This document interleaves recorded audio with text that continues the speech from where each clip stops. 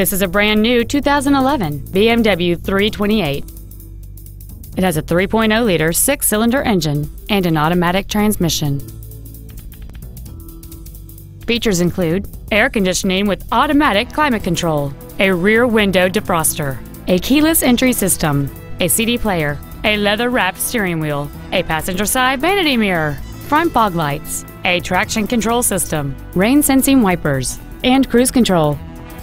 With an EPA estimated rating of 28 miles per gallon on the highway, this automobile helps leave money in your pocket where you want it. Call or visit us right now and arrange your test drive today.